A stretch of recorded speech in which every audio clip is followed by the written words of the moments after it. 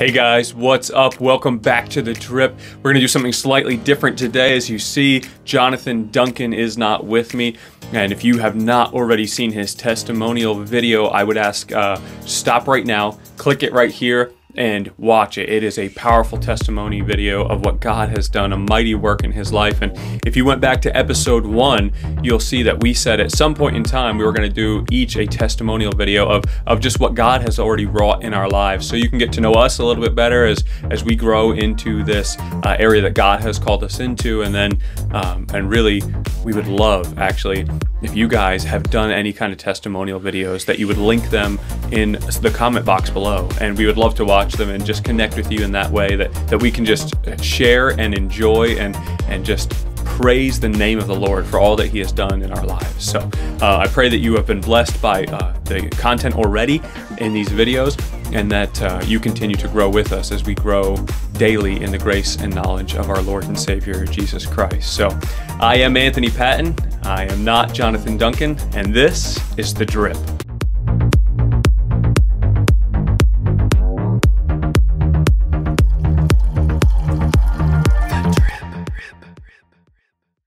So, yeah, I'm going to be talking today about a little bit of my testimony, and it's just uh, kind of slight areas of my life as God uh, drew me onto Himself and then moved me into ministry. And if you guys don't know, I actually am currently pastoring a church, Living Water Church in LaGrangeville, New York. And oftentimes when I wake up in the morning, it's like I- I'll ask the Lord, almost a reassertion or affirmation of God, is this really where you've placed me as a pastor of a church? Because I don't know if you guys have ever felt this way, but the things God calls you into, so often you don't feel equipped to be able to do what God has moved you into. And and the weight of sin and the burden of sin in your life is so heavy that as you look forward towards the perfection of Jesus and as you start to study his word, as you start to get to know him, that weight of sin that's in your own life separates you in such a vast chasm that you say, How could I possibly work for the Lord? And something that's so encouraging to me is just recently I was hanging out with uh, one of the leaders of the North American Mission Board, and he was talking about his daughter.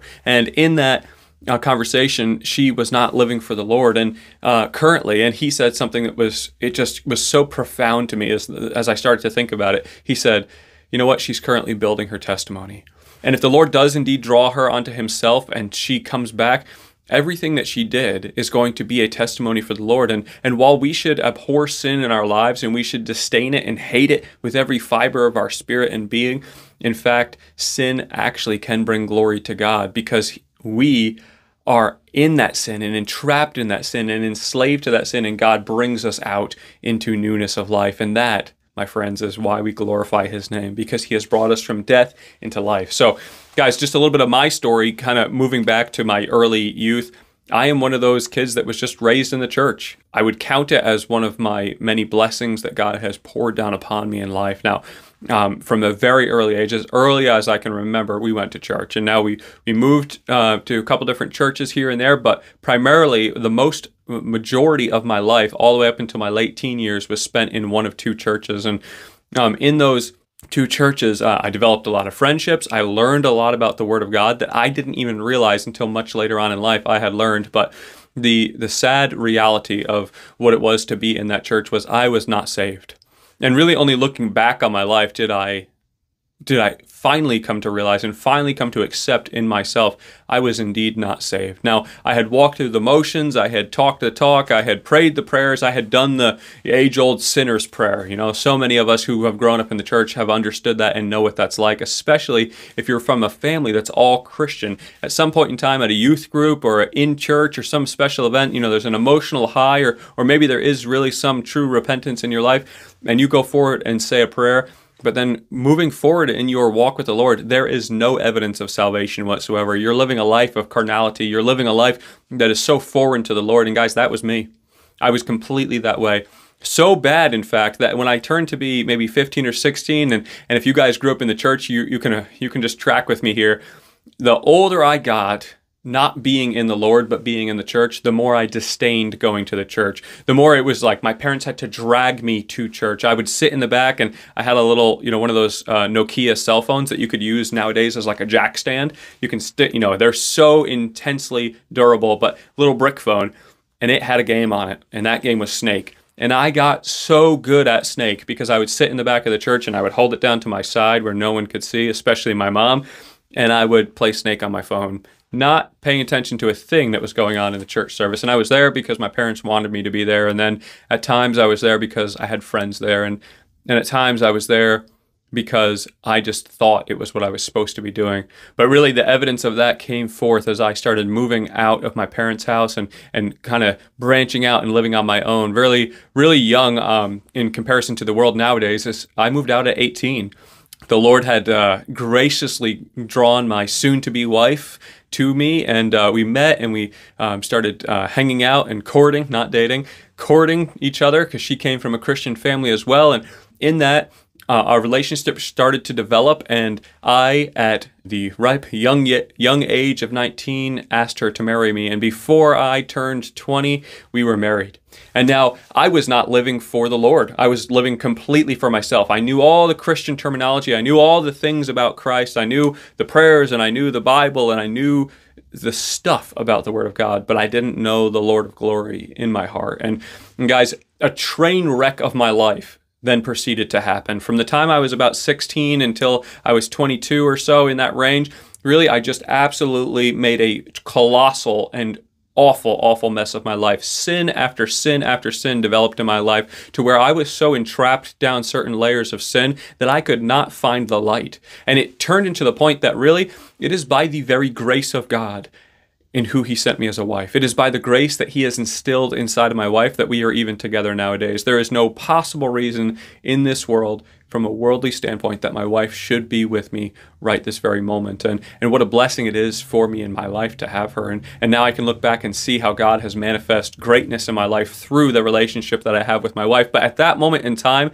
in those early 20s of my life, really my wife should have walked away and left me because I was not living for the Lord. I was destroying our relationship both with her and the Lord and not being the spiritual leader of my home that I was called to be because I was not in the Lord. I was not of the Lord. I, I did not know him or want him or, or, desire him. I wanted and desired the things of this world.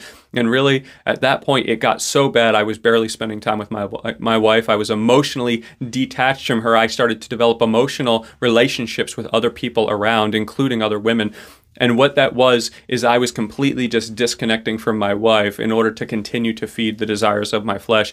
Praise the Lord. He drew me back onto himself and, and drew me back onto himself in some of the hardest situations that you could possibly imagine. Really, I was at that early age of my life in my early marriage my wife found out very quickly the kind of person that I was and who I was and, and the kind of things that I was doing in my emotional state and then in my sinful state. And, and what it was is it was this hard break moment in my life where all of a sudden everything came crashing down around me. And it was that pivot point in my life of saying, okay, I I have made a colossal mess of being Anthony. I, I lived for myself. I wanted the things of myself. It was so bad, in fact, what I did is as my wife started to kind of find out things about my life and, and kind of realize the kind of person that I really was, not, not the person I was pretending to be on the outside, but the person that I really was on the inside, the person that we don't want anyone to see, the, that she at that point if if I was her and, and, many people in this world, she should have left me at that moment in time. Now, I did not just all of a sudden overnight change.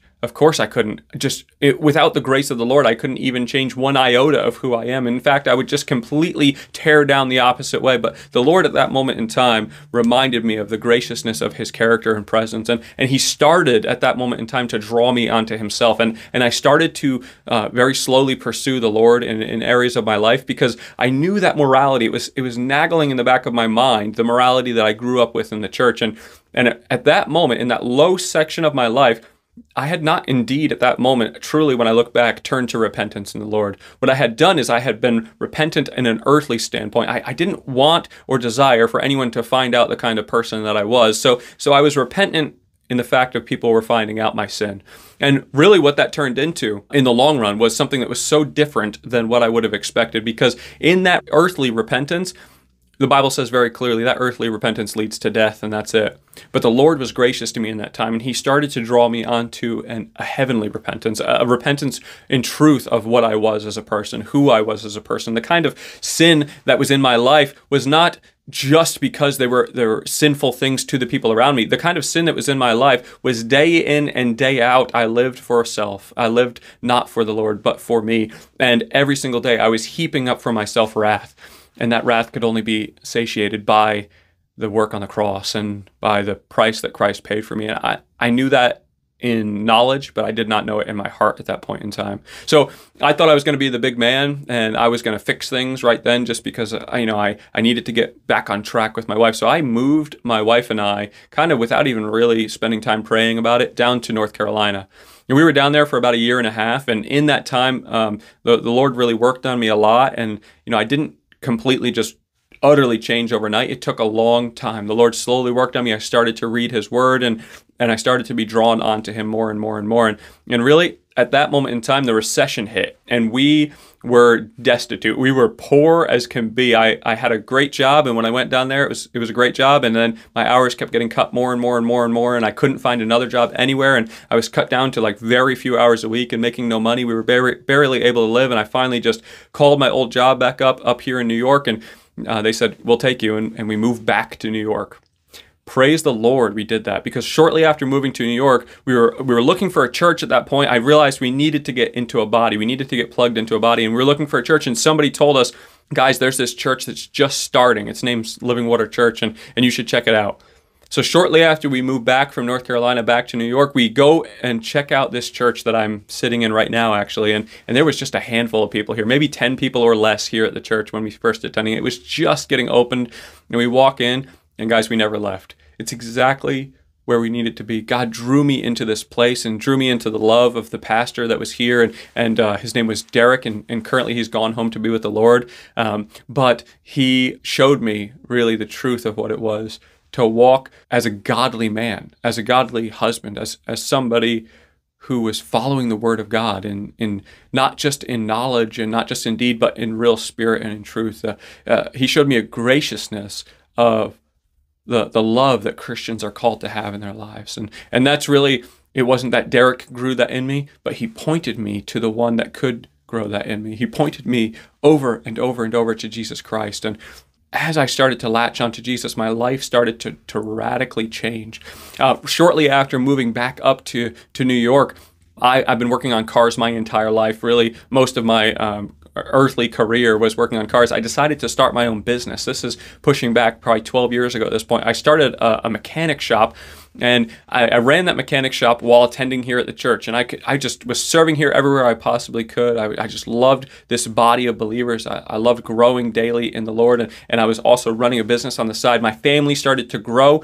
Uh, we adopted a, a, son who's now 11 years old. It's crazy. But we adopted him at two weeks old. And then continually, my business started to grow and my family started to grow and the church started to grow. And I just saw this explosion of growth all around me. And then, really looking back, I can realize there was an explosion of growth going on within me as the Lord built my spirit up, uh, the spirit that He had given to me, and and squashed the flesh down, building up the spirit. And, and that progression continued. And, and guys, I had rough times in that time of my life as I was being remade um, as the Lord was, was working on me. And it was so difficult. And yes, at times I fell back into sins, and at times I still do. You know, that's just a, it's folly to think that even as a pastor, you don't ever fall into certain sins or, or sins of the mind or sins of the flesh. What happens is the Lord is so gracious and He quickly rips you back out of those things and that does not leave you there. And as you feed more into the Spirit, that becomes evident more and more and more in your life. But in that time, it was, it was hard. He was breaking me apart to remake me. And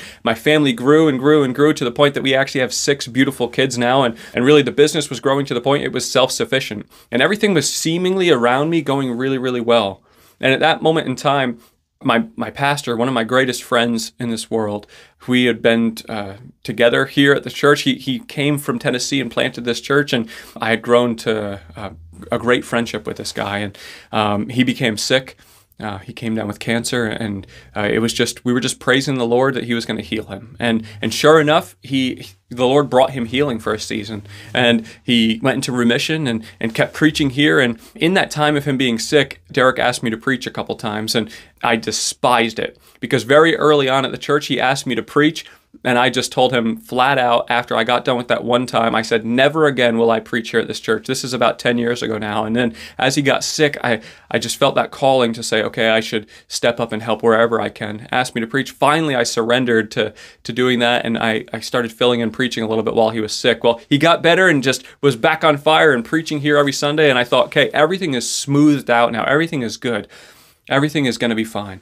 And now my family's growing, my business is growing, the church is growing, Derek's healthy. It's like everything's good. I love those seasons of life when everything's going well and, and I'm growing in the Lord and, and things around me are excellent and great. And then at some point in time, this is in about early 2019, I think in 2018, Derek actually came back down with cancer. Uh, it was found again um, that he had cancer, and but he started to go through treatments. And in my mind, this whole entire time, it's just okay. He's going to get healed again. The Lord's going to take care of this. He's going to use it. But in that same time, the Lord started to work in my heart and change even my earthly desires for this world. I thought for the last 10 years of running a business that I, that's where I was going to die. I was just going to continue to grow the business until it was so prosperous and running so well that I would just use it as my retirement or I'd give it to one of my kids if they wanted it. And that, that was kind of my retirement plan is I'm just going to continue in the business. I loved doing it. I loved everything about it. Um, but the Lord had different plans for me. And in early 2019, He started to work in my heart um, and make some changes there. And, and I started to feel this drawing and this, this nagging to go um, into ministry. And really, I was just praying about it and praying about it because I had no desire whatsoever to leave the business, to leave uh, what I loved to do. And I had zero desire to preach. It was only when Derek really forced me to that I would get up here and preach, or I would serve behind the scenes anywhere at the church he asked me to, but I had no desire to deliver the word of God. And, and really, to the point that I would very often tell him no and or ask him to get somebody else and only do it on the rare occasion when no one else could be found. And and so the Lord was working in my heart in that early beginning of 2019 and eventually I brought it to my wife and told her how I was feeling and and she started to pray with me of these things and I think in the summer of 2019 is when I started to really contemplate what would that look like if I were to step out of the business and step into ministry someplace. And I thought, okay, I got to go to school and I got to kind of I started in my own earthly self again, making all these plans for what's coming, what's coming next. How am I going to get to that point? And and really at that moment in time, the Lord I think through my wife spoke uh, into my life. You know, when Jesus called his his disciples to him, he just said, "Follow me," and you know, they just left everything they had and said, okay, Lord, we'll follow. And they followed him. And so that thought stayed in my mind to the point that in November uh, of 2019, that uh, I walked into the business after discussing it with my wife, and uh, I had uh, some people working for me, and I just went to them who um, who were working for me, and I said, "Well, you went from being employees to owners this day, and by the end of the month, I, I'm done here at the business. I'm just going to walk away."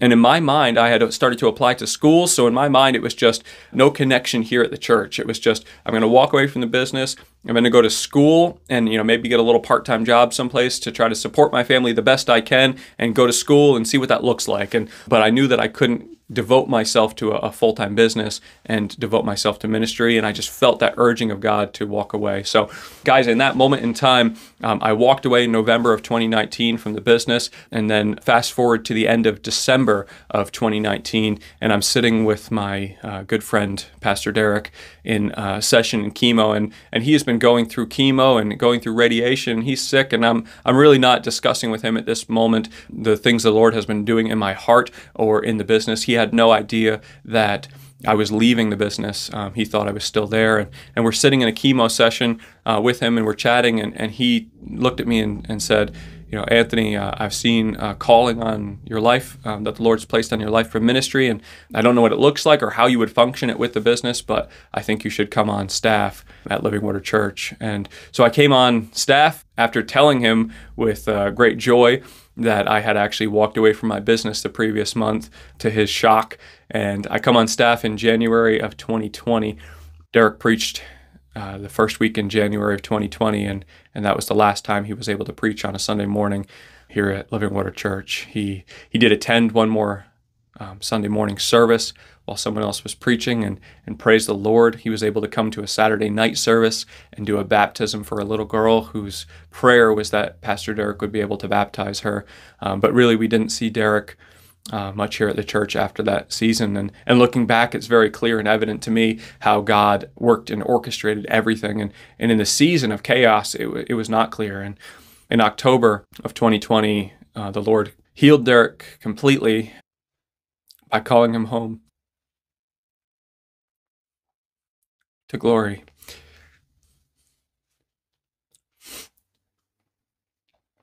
Definitely was not my plan or what I thought the Lord was going to be doing, and you know how He changed so many things in such a short period of time, and and uh, from that moment, really, um, I uh, I just started to try to figure out what the Lord had for me at the church and started pastoring here at the church. And um, if I'm being really honest, daily feeling like I was not fit for this task, like I could not do what the Lord had called me into. I, I didn't have any formal education. I didn't have any formal training. I, I didn't know what it was to be a pastor. And, and as I started to, to fit into this role, I started to realize very quickly that without me even realizing it, for the last previous 10 years of my life,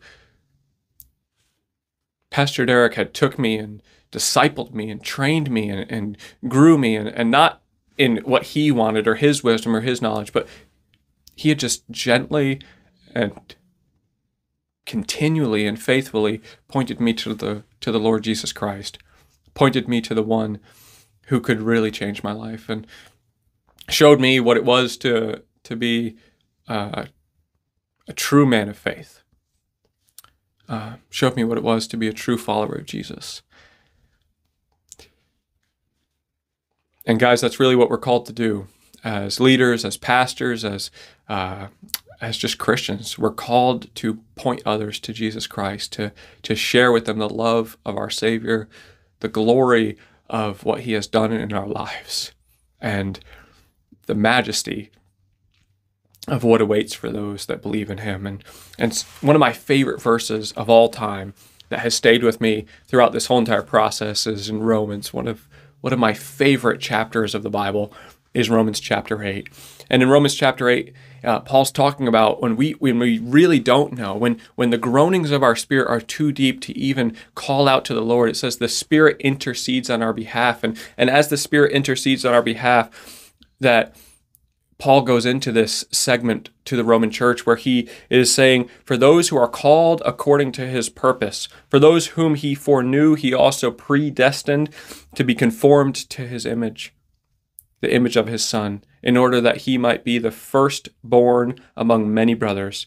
And those whom he predestined, he also called. And those whom he called, he also justified. And those whom he justified, he also glorified. And then he goes on and says, What are we to say to these things? If God is for us, who can be against us?